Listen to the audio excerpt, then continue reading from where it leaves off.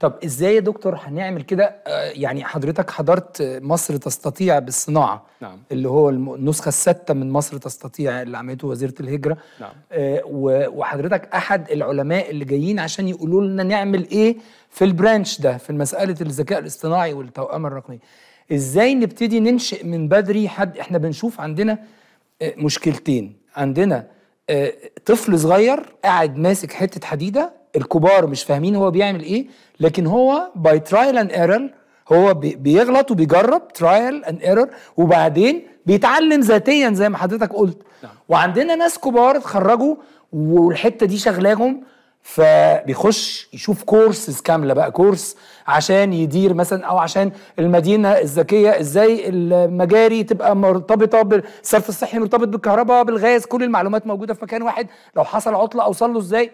ده كورسات.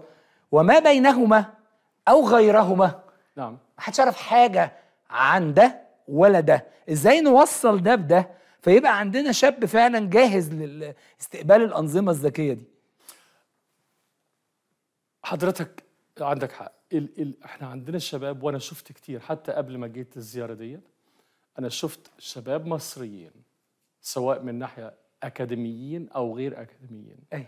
ناشرين شغل جودته مش أقل من الجودة اللي أنا بشوفها في كامبريدج MIT أو هارفارد ده على نفس المستوى.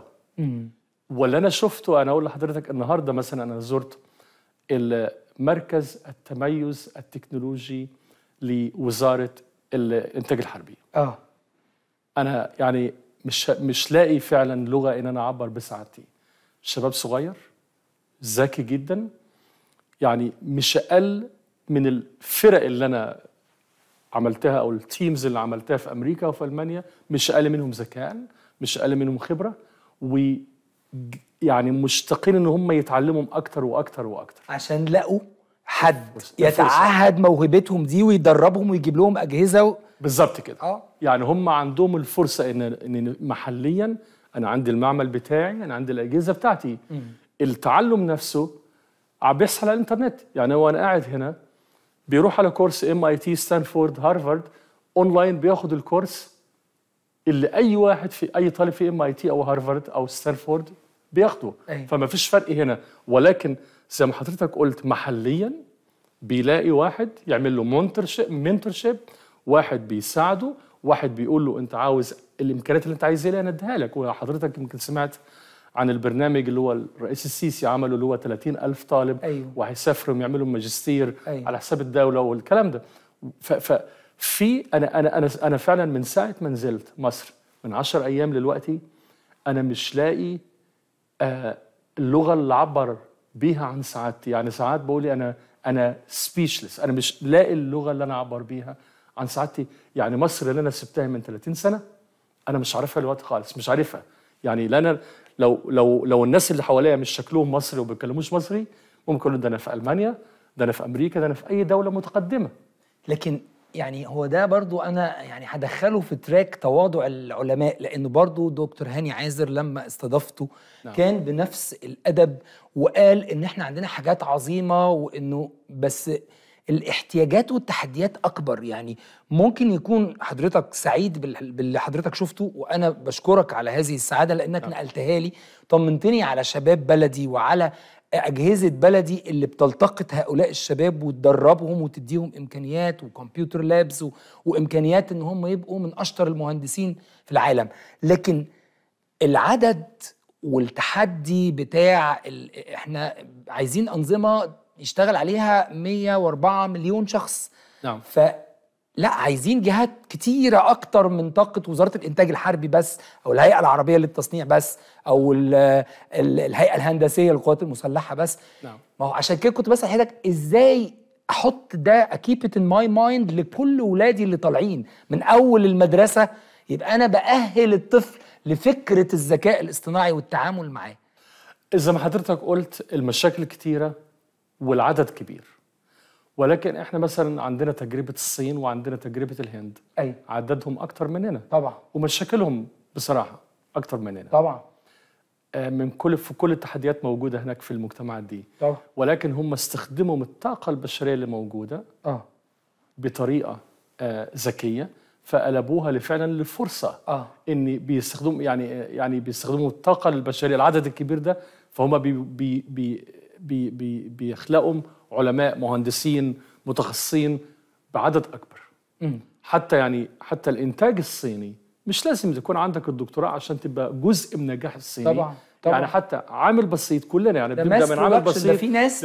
بتشيل دي من هنا تحطها هنا ده. كل دوره يعني وده موجود وده آه. مهم دوره مهم جدا أيوة. فاللي بيحصل الوقت في مصر يعني نشوف عدد الجامعات اللي اتفتحت في العاصمة الإدارية الجديدة ال expansion أو ال- ال- ال- توسع. الت- التوسع اللي بيحصل في الجامعات الموجودة إيه، أنا و- وكمان يا فندم ال- التأهيل بتاع الجامعات الموجودة عشان تبقى مواكبة ده اللي أنا كنت عاوز أقوله إن آه. حتى الكورسات اللي بتدرس في الجامعات دلوقتي بتتحسن وحتى في المدارس أنا بسمع عن عن حاجات مشاريع تجريبية كتيرة بن- بنجرب بنجرب الكورس ده بنجرب طريقة التدريس ديت أيوة. يعني في متخصصين عارفين إيه اللي بيحصل بره عارفين أحدث طرق التدريس أحدث الكورسات في المواد المختلفة وبيجوا هنا بيعملوا لها توطين أو. لوكاليزيشن لأن مش كل حاجة كويسة بره تبقى كويسة هنا. طبعا. فبننقل التجربة. تناسبنا هنا بالظبط. يعني إحنا فبنلاقي- فعلا الرئيس حريص على النقطة دي كل ما بيجي حد يعمل حاجة عندنا صناعة عندنا نعم أهلا وسهلا اتفضل صنع استثمر نعم هات لي بقى النو هاو لاولادي نعم. يا إما بيعمل مدرسة فنية يا إما بيدرب المهندسين بتوعنا بحيث شوية سنين نعم. وتبقى أنت قادر على إنك تنتجها هنا وأنا وأنا شفت ده يعني أنا إحنا من كام يوم زرنا آه، مركز لشركة سيمنز الألمانية وعندهم زي أكاديمية training courses لكل المستويات الفنية اللي بتطلبها الصناعة المصرية المحلية وده من سيمنز يعني زي ما حضرتك قلت عاوز تعمل عندنا الشغل علمنا بالظبط. علم ولادنا لأن على الأقل ولادنا هم اللي آه، هيديروا المشاريع ديت في بلدنا. وفعلا والشركات سيمنز أو أي شركة تانية فرحانين ليه؟ زي ما قلت لحضرتك قبل كده هم ما عندهمش الطاقة البشرية الكافية في ألمانيا. صحيح هم, هم- بيو... لما بيبقى في لقاءات بنلاقي إنه آه، آه، سواء سيمنز أو الشركات ال- الكبرى Eni مثلا الايطاليه الشركات نعم. هم بيقولوا قدام الرئيس نعم. إن إحنا بنفخر بتعاوننا معاكم لأن أنتوا أكبر إنجاز إحنا حققناه كشركات multinational وفي حاجة يعني أنا يعني هو فعلا مش مش مجاملة أنا مصري زي ما حضرتك عارف ومش مجاملة لأهل المصريين بصراحة أنا حاجة غريبة عن المصريين إحنا عندنا حاجة يونيك إن إحنا فعلا شخصيتنا الاجماليه اجمالي الشخصية. حاجة يعني كل واحد بيحسها بره ويحس إن المصريين بالذات لهم يعني إحنا بنقدر نن- ننجز. لما نقول هنعمل حاجة هنعملها. أقول. لحضرتك حكاية ظريفة. اتفضل. لما سعاده الوزيرة آه، نبيلة مكرم عزمتني للمؤتمر ده فبدأت ان أنا يعني يعني إيه يعني يعني ابديت يعني جاي أشوف المعلومات أنا إيه اللي هقوله وإيه المطلوب وإيه اللي يكون مناسب ومش مناسب أعرف إيه اللي مصر اللي ماشي في مصر دلوقتي. فشفت الأفلام عن ال- ال- العاصمة الإدارية الجديدة البنية التحتية الجديدة إن إحنا مثلا بنينا آه، أكبر سولار فارم أو مزرعة الطاقة الشمسية آه، في جنوب مصر في العالم. آه. بالظبط كده. دي أكبر مزرعة طاقة شمسية في العالم. في العالم بالظبط كده. فيعني أنا كنت قاعد في مرة في اجتماع مع زمايل وبعدين بنخطط حاجة معينة فبقول لهم يعني فبيقولوا لي إن في الوقت ده يعني هنجتمع تاني. فقلت لهم لا أنا مش موجود أنا مش هكون موجود هنا هكون في القاهرة. ف... فالمهم حكت لهم والحكاية ورت لهم فيلم عن ال... ال... ال... العاصمة الإدارية الجديدة. فذهلوا قالوا لي يعني بيبنوها من كام سنة؟ قلت لهم ده من أربع سنين واثنين منهم كانوا سنتين كانوا كوفيد 19 تأخير وكلام فبصوا كده. فواحد زميلي قال لي إيه؟ أنتم يا مصريين بنيتوا الأهرامات ومحدش عارف بنيتوها إزاي والوقت تبنوا العاصمة الإدارية والحاجات دي كلها ومحدش عارف بنيتوها إزاي لأن الإنجاز نفسه في الوقت القصير ده يعني أنا مش مصدقه.